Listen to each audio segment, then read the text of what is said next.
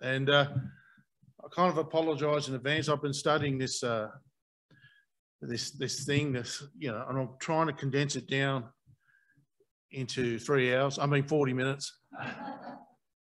Um, and the start is crucial. I mess up, mess up the start. I don't know where I go, but anyway, I'm not in my head at the moment. It's blank.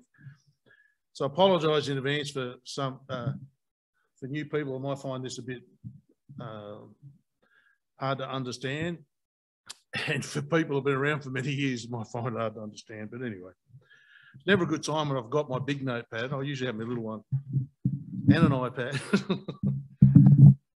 but anyway, let's start. So it's all about uh, the events that happened in 70 AD with the destruction of Jerusalem and the temple. And I want to, you know, it, it all comes back to uh, Daniel's 70 weeks.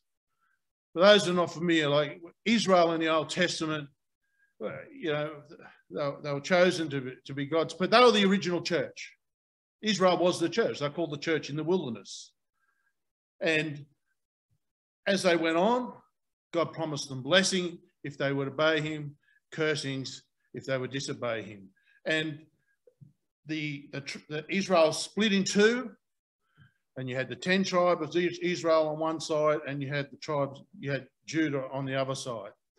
And the 10 tribes just went full on into sin and uh, went into captivity and were basically, if you, if you, if you take, uh, think of it as a tree, they'll cut off the tree through unbelief. They'll cut off.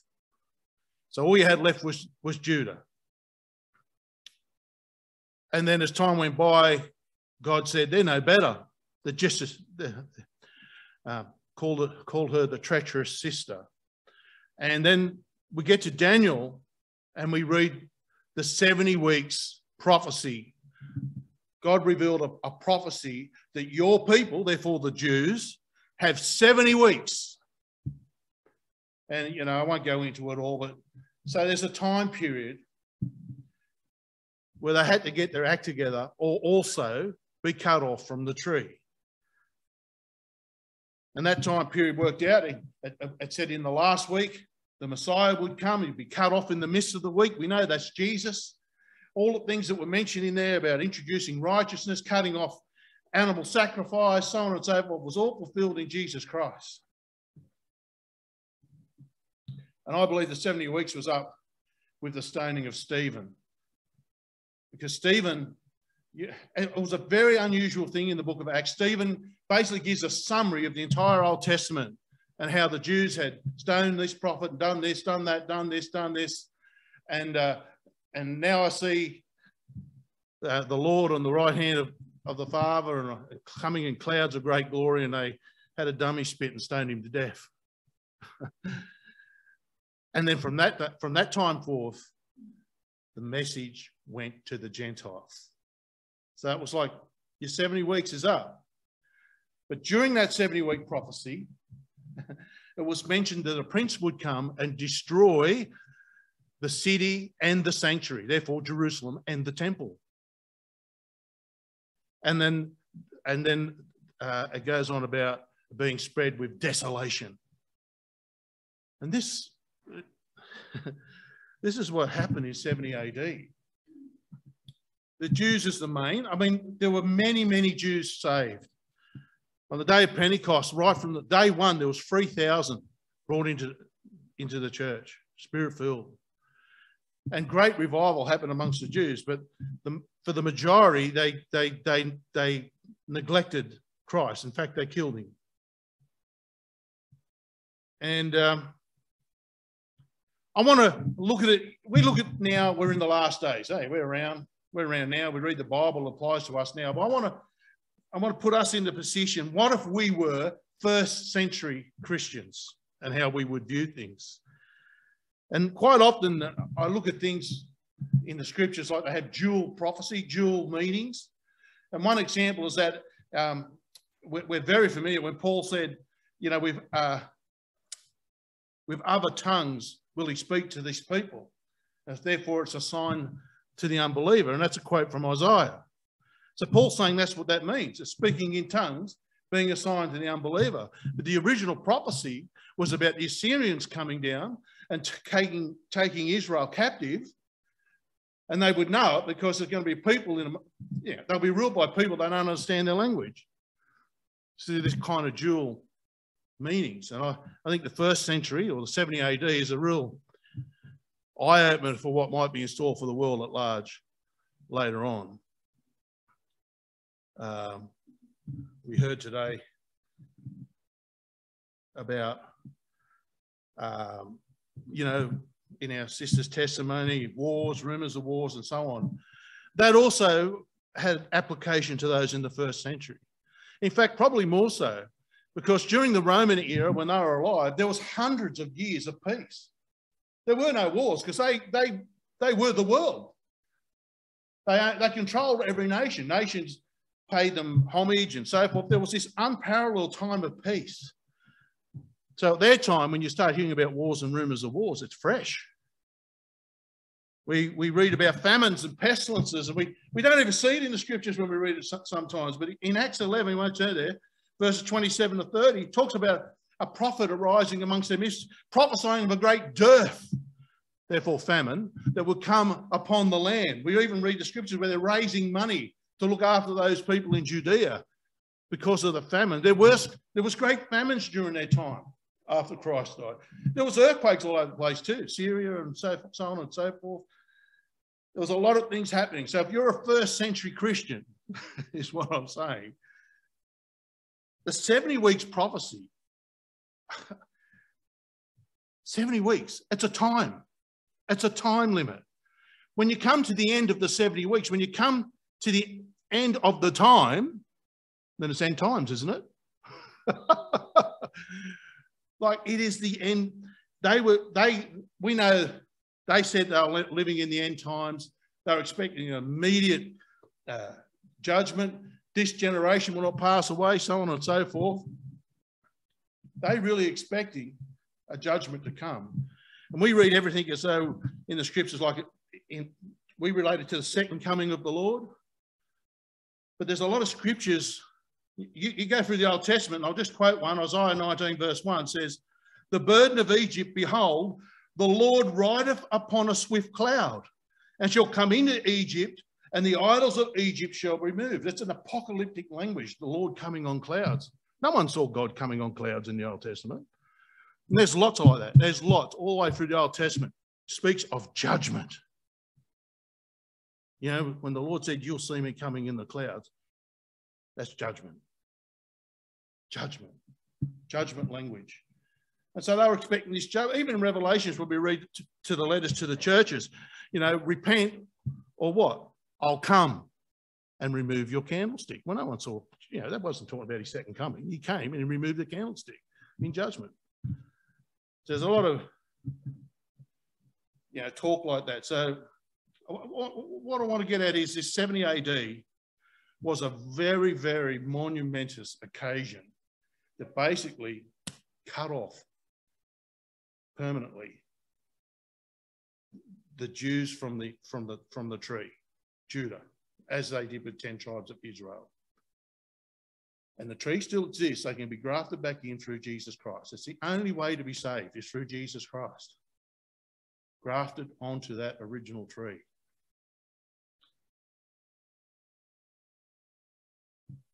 Anyway, I don't know how I'm going, but. so imagine yourself, again, I just want to reiterate, imagine yourself in the first century and you're getting, because people think, oh, you know, the disciples wrong. They expected the Lord to return. They expected him to come. They were expecting the judgment. They were, they knew in 70 AD, there wasn't one Christian killed. They all fled Jerusalem. You know, Jesus said, when you see the armies surround Jerusalem, get out. I mean, the historian is right. There wasn't one Christian killed during that time. They were warned. They knew what was coming.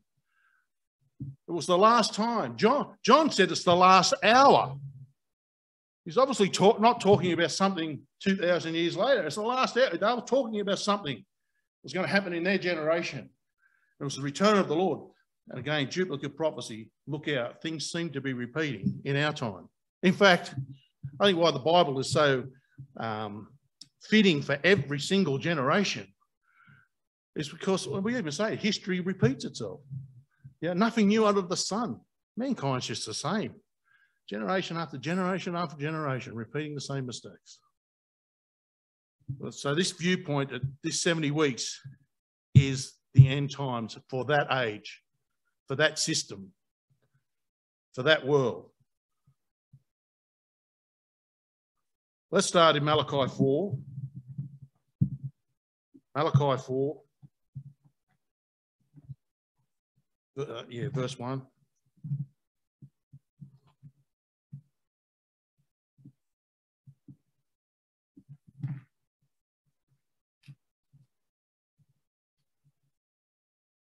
I think I'll just wait for Ron. it's the last book in the Old Testament. Malachi 4, verse 1. We read here, For behold, the day cometh. Another thing, we always read day of the Lord as the last, as the Lord's second coming as well. There's been many day of the Lord's in the Old Testament. Again, they speak of judgment. So the day cometh Malachi 4, verse 1. That shall burn as an oven, and all the proud, yea, all they that do wickedly, shall be stubble. And the day that comes shall burn them up, saith the Lord of hosts, that it shall leave them neither root nor branch. I'll just stop there for a sec. All the way through the Old Testament, there's warning about the tree being plucked up removed from the land. You know, this tree is talking about Israel. Thou shalt leave them neither root nor branch. The day's coming where they shall be stubble. Verse 2 it says, But unto you that fear my name shall the Sun of Righteousness arise, that's Jesus Christ, with healing in his wings, and ye shall go forth and grow up as calves of the stall, and you shall tread down the wicked, for they shall be ashes under the soles of your feet in the day that I shall do this, saith the Lord of hosts. Remember ye the Lord Moses, my servant, which I commanded unto him in Horeb for all Israel with the statutes and judgments. Behold, I will send Elijah the prophet before the coming of the great and dreadful day of the Lord. And he shall turn the hearts of the fathers to the children, the heart of the children to their fathers, lest I come and smite the earth with a curse. I just pulled that scripture out because look, there's so many. talks about Israel being a tree, Israel being a vine.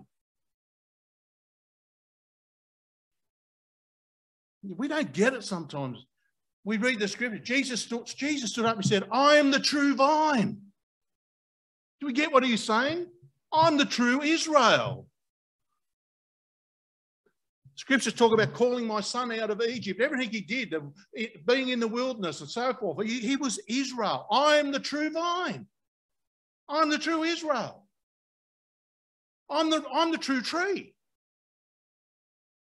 And he said, if any branch is not found in me, it's cast off, ready to be burned. He, you got to be in that right tree. You've got to be in Jesus Christ. And he said, oh, let's go to Matthew 3 first. Matthew chapter 3.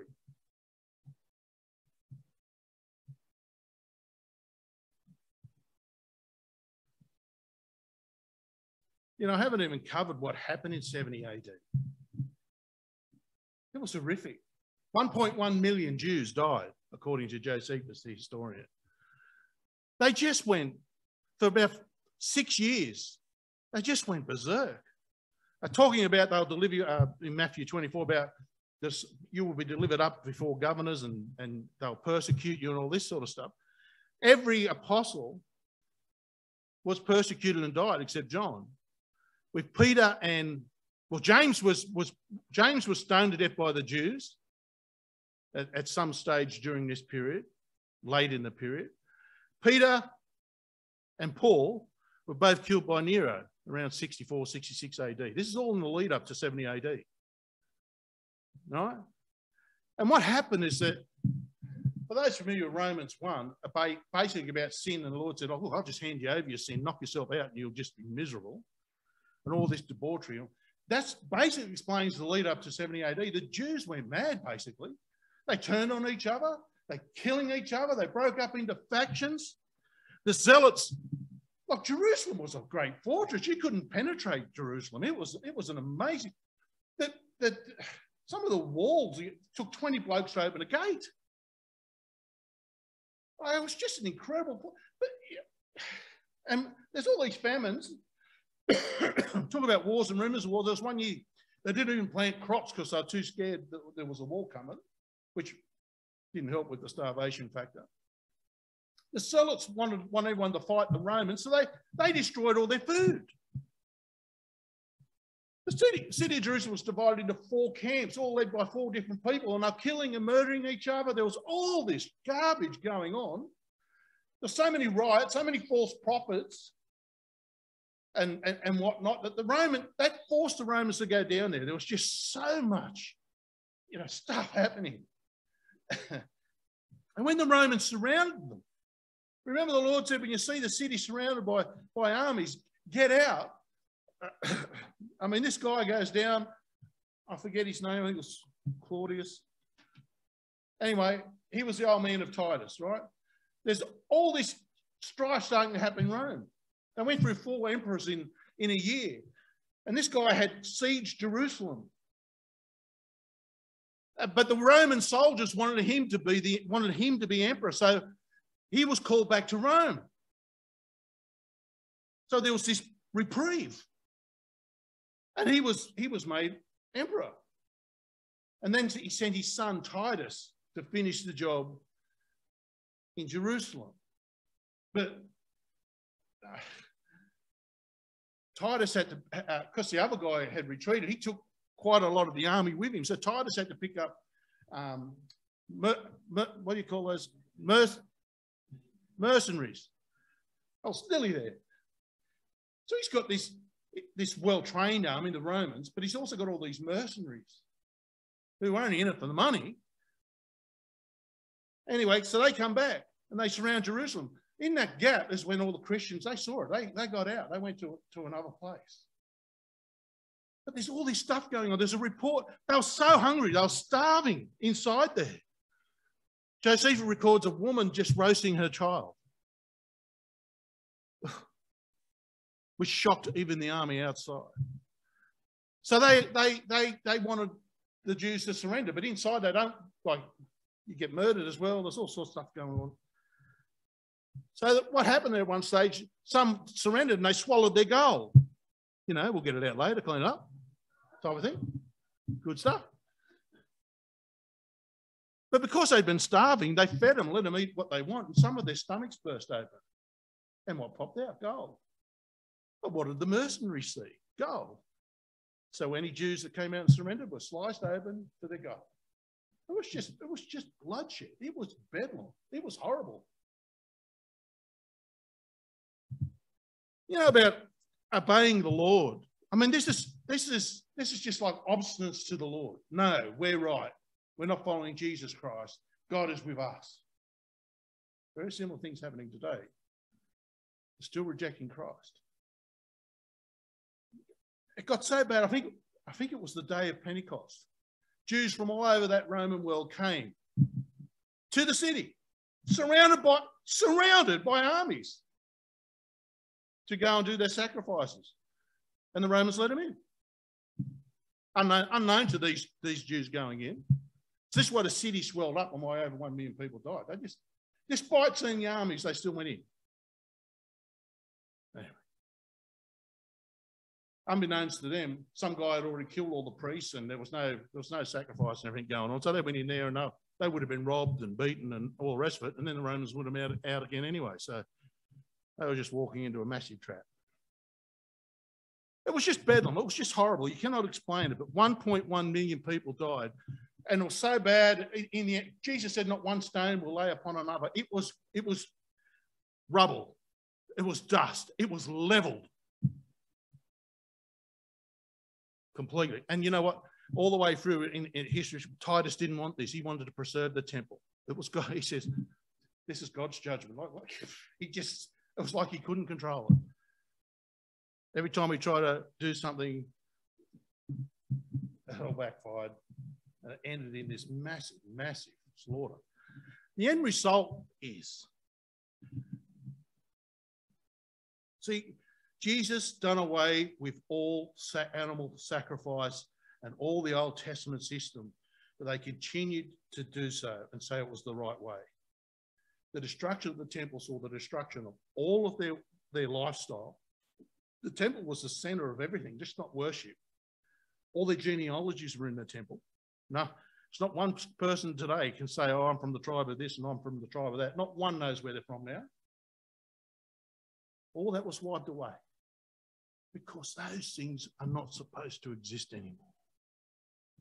Even Jesus, when he cursed the fig tree, may not a leaf, no fruit grow on you this day forever, from this time forth.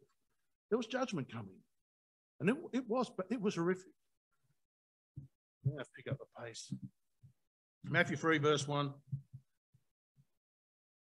In those days came John the Baptist preaching in the wilderness of Judea, saying, Repent ye, for the kingdom of heaven is at hand.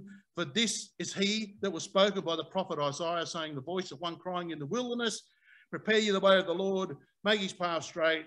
And the same John had his raiment of camel's hair, leathern girdle about his loins, and his meat was locusts and wild honey. That's what we're having for lunch today. And then went out to him and Jerusalem, all Judea, and all the region round about, and were baptized of him in Jordan, confessing their sins. But when he saw many of the Pharisees and Sadducees come to his baptism, he said unto them, O generation of vipers, who has warned you to flee from the wrath to come? Are we starting to get what the wrath to come was? 70 AD. Bring forth therefore fruits meet for repentance, and think not to say within yourselves, We have Abraham to our father.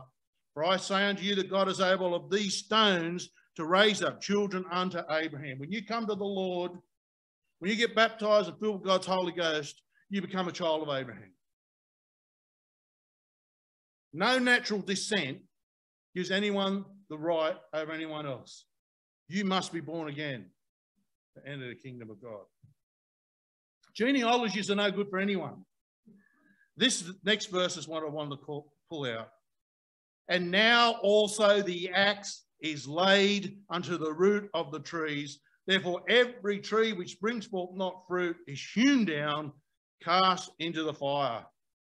Then he says, I indeed baptize you with the water and unto repentance, but he comes after me, mightier than I, whose shoes I am not worthy to bear. He shall baptize you with the Holy Ghost and with fire. Hallelujah. That's what it's all about, being baptized with the Holy Ghost and with fire.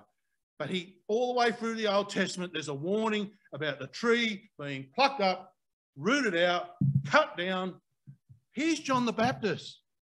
The axe is already laid unto the root of the tree. He's, he's telling you how it is. and we also read, well, we didn't read, but Jesus is the true vine. I won't read the story, but there's a story that I because I'm running out of time. But in Luke 4 16 to 30, if you want to read it later, interesting confrontation Jesus had with the scribes and the Pharisees. And they they just they lost it again. Very, very friendly people, these. They took him out to kill him. And they wanted to throw him headlong down the hill. They took him to the hill and wanted to throw him headlong down and kill him. Right? Other version says that hill is the valley.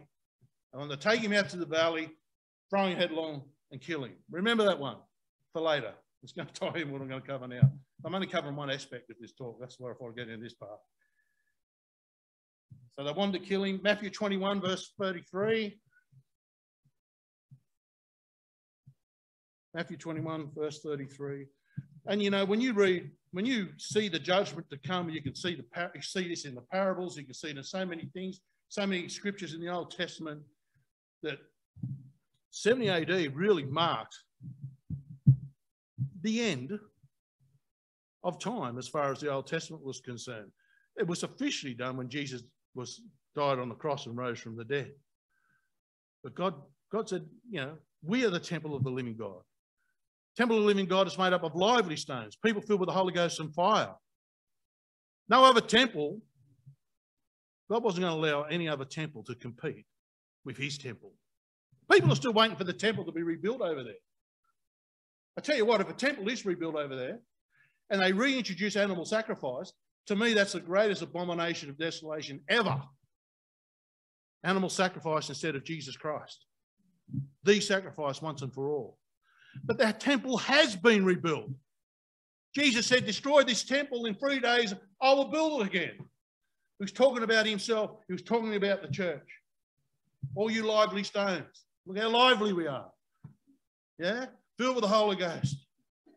That is the temple of God. He doesn't dwell in temples made by men's hands.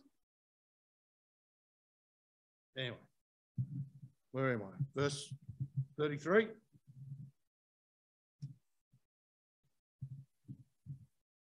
Um, I've got to go down to verse 46, so yeah, all of it. Here another parable. There was a household, duh, which planted a vineyard and hedged it round about and digged a wine press in it and built a tower and let it out to husbandmen and went into a far country. And when the time of fruit drew near, he sent his servants to the husbandmen that they might receive the fruits of it. And the husbandman took his servants and beat one and killed another and stoned another. Again, he sent other servants, more than the first, and they did it unto them likewise.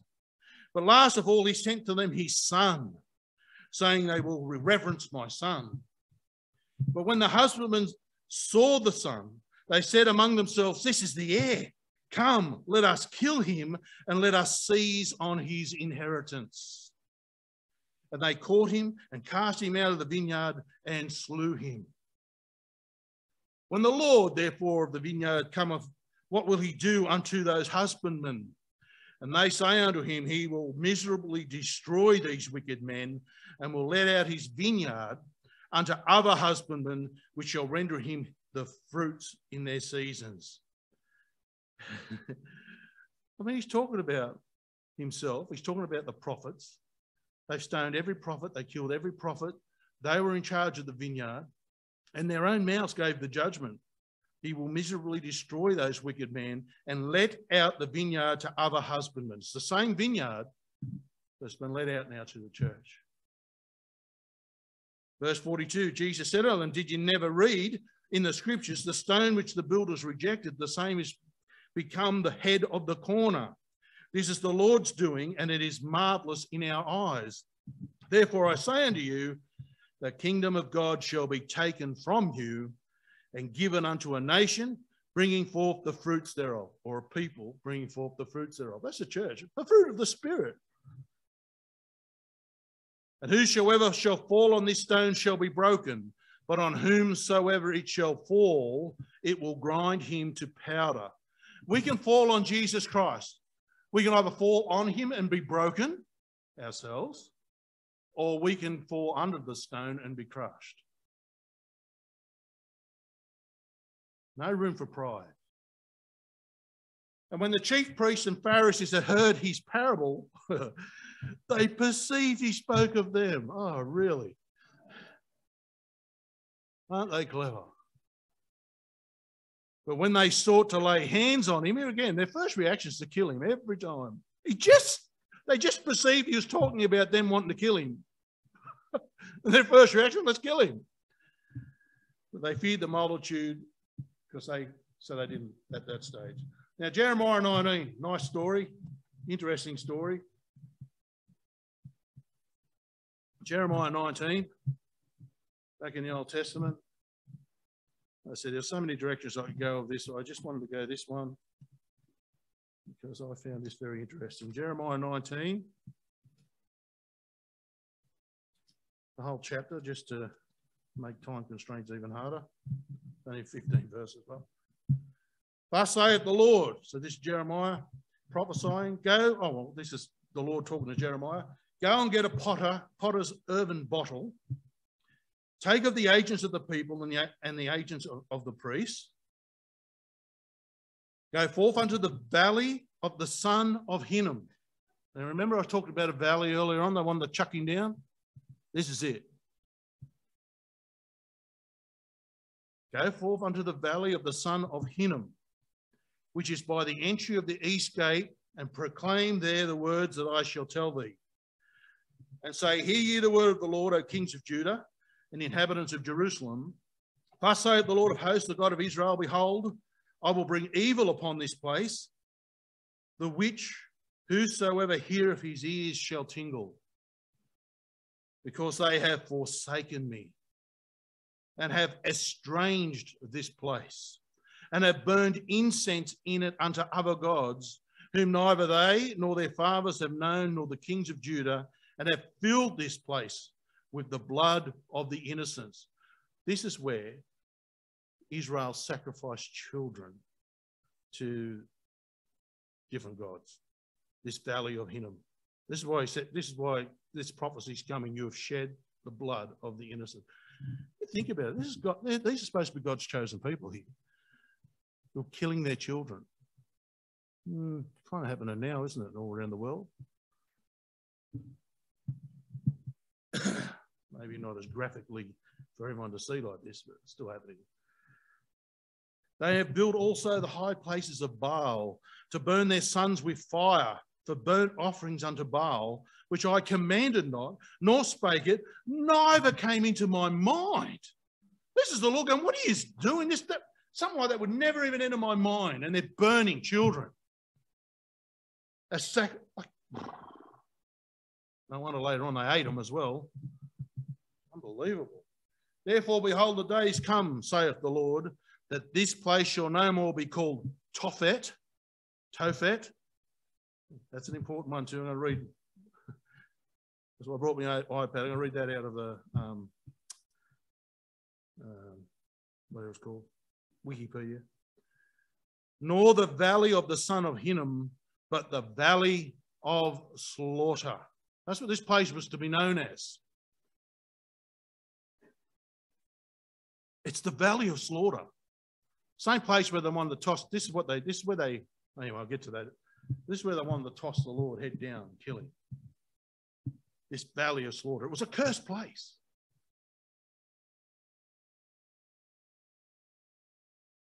And, and through history, after this, after this, the Jews knew it was a cursed place. It was a cursed place. It wasn't a place you wanted to go. Not a place you wanted to be buried. And I'll make void the counsel of Judah and Jerusalem in this place, right? This valley.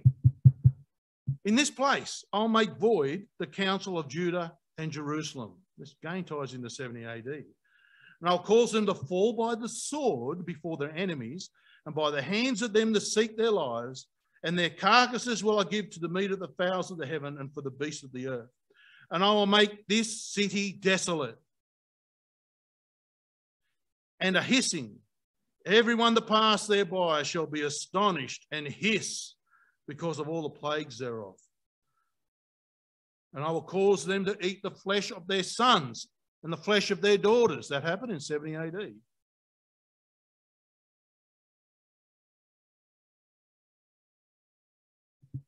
And they shall eat every one of the flesh of their friend in the siege and the straitness wherewith their enemies, and they that seek their lives shall straiten them. And then shall they break the bottle in the sight of the men that do go with thee, and shall say unto them, Thus saith the Lord of hosts. Anyway, oh no, yeah, keep going. Even so, I'll break this people, okay? This this clay pot, he's breaking it in front of everybody and saying, and this is the Lord saying, even so, I will break this people and this city. As one breaketh a potter's vessel that cannot be made whole again, cannot be made whole again. Dead opposite what we're being told these days.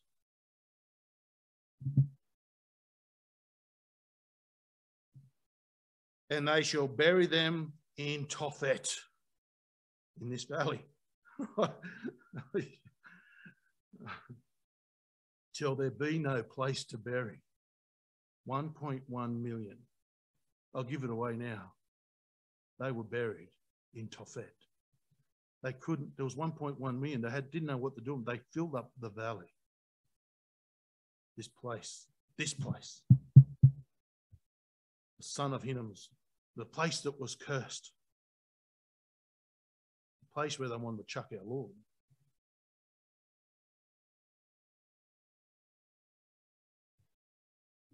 Thus will I do to this place, saith the Lord, and to the inhabitants thereof, and even make this city as Tophet. The city was laid totally waste. And the houses of Jerusalem, the houses of the kings of Judah shall be defiled as the place of Tophet. We getting the picture? it, Jerusalem and the sanctuary are going to be like this cursed place, buried in Tophet the place where you're killing children.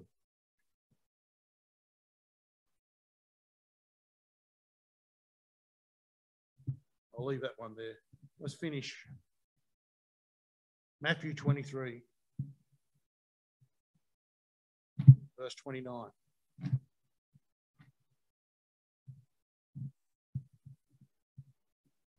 Matthew 23, verse 29.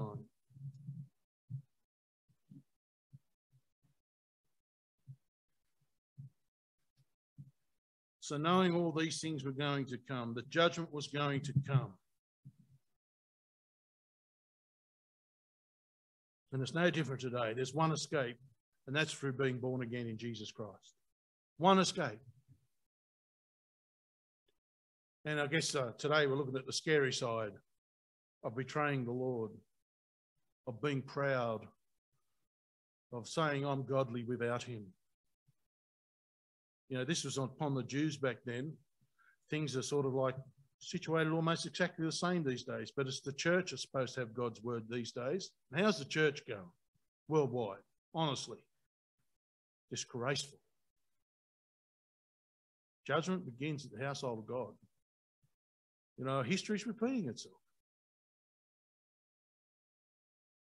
Matthew 23, verse 29. That's a chapter of woes, especially if you're a scribe and a Pharisee. Verse 29 Woe unto you, scribes and Pharisees, hypocrites!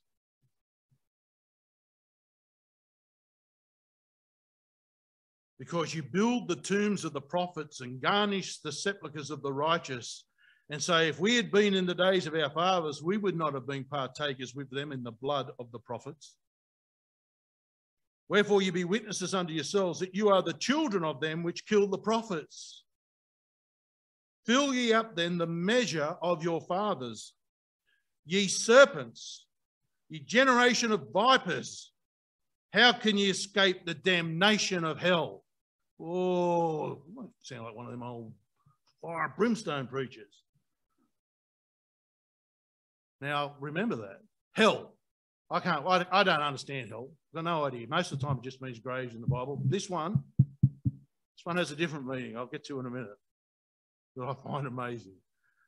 How shall you escape the damnation of hell? Lock that one in. Wherefore, behold, I send unto you prophets and wise men and scribes, and some of them you shall kill and crucify. Some of them you shall scourge in your synagogues and persecute them from city to city. This they did to all the apostles that upon you may come all, get this, that upon you may come all the righteous blood shed upon the earth from the blood of the righteous Abel unto the blood of Zacharias, son of Barachias, whom you slew between the temple and the altar. Upon this generation, all. The end of the 70 weeks, you see. This is the end. This is, this is the judgment of God. This is a great and terrible day of the Lord for these people. Upon you, it's going to come the blood of all these righteous people. I mean, I, I don't know, I just popped in my head revelations with martyrs saying, How long, Lord? How long? Just a short while. Well, here's all the martyrs, if you like, in one sense. How long you, before you avenge us? Gee, a lot ties into 70 AD. Verse 35 that upon you may come all the righteous blood shed upon the earth, which I already read. Verse 36 Verily I say unto you, all these things shall come upon this generation. So we don't have to explain away that, oh, it's a generation that sees this, it's a generation that sees that. They could all fill in. But this generation that were alive at Jesus' time saw judgment. And they, they were the ones that copped the end of the 70 week prophecy. And then he goes, Oh, Jerusalem, Jerusalem, thou that kills the prophets, stonest them which are sent unto thee, how often would I have gathered thy children together, even as a hen gathers her chickens under her wings, and you would not? Behold, your house is left unto you desolate. Daniel chapter 9. That's how it finishes.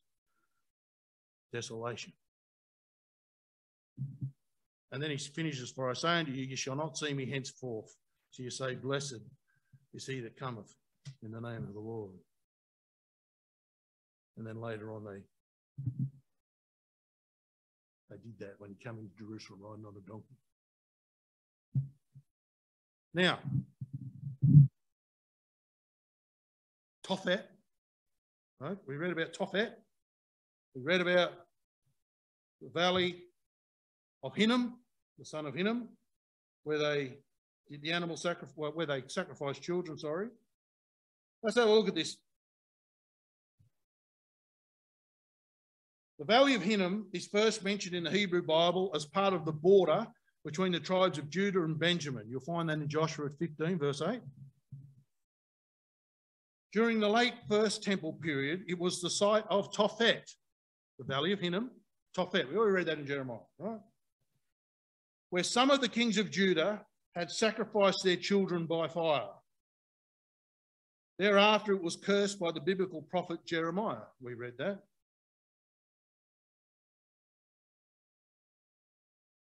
Um,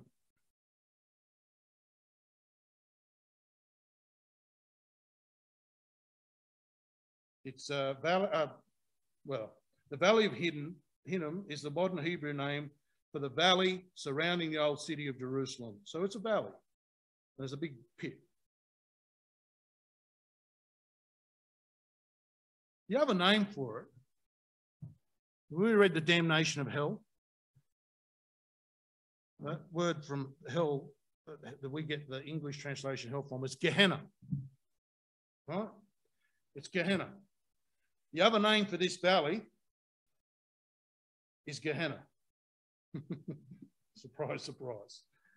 Where they burnt their children, where they killed their children, where God said, This is where this you're going to be buried. This Tophet will be the be Jerusalem, what we call hell, the damnation of hell. You will not escape the damnation of Gehenna, is what he said, literally. You will not escape the damnation of Gehenna. And that's where the 1.1 million were buried. They did not escape the damnation of Gehenna. Were buried in that valley. I mean, it was cursed. It became associated with divine punishment in Jewish apocalypticism and is the destination of the wicked. So when he was telling them, talking to them of this, they knew that was the destination of the wicked. No one they wanted to kill him. You will not escape the destination of the wicked. And it was a place where, I can't see it here now, but it's where they, um, where they threw their dead animals and anything that was uh, defiled, considered unrighteous. It was a place that was cursed. So we're seeing, you know, I, I guess that's a bit scary, but we're seeing the fulfillment of Bible prophecy there laid out. The judgment did come upon them in 70 AD. And here we are, like, you know, we don't have to get everything to fit in our time, if you know what I mean. But that doesn't mean things aren't going to happen, you know, in like manner. Like I said before, there's sometimes a dual prophecy. And whatever happens in the future, there's only one escape.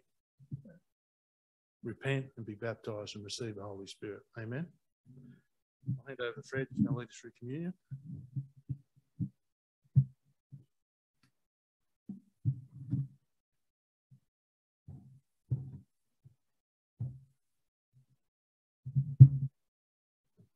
We've got some musicians, have we, to lead us in a hymn?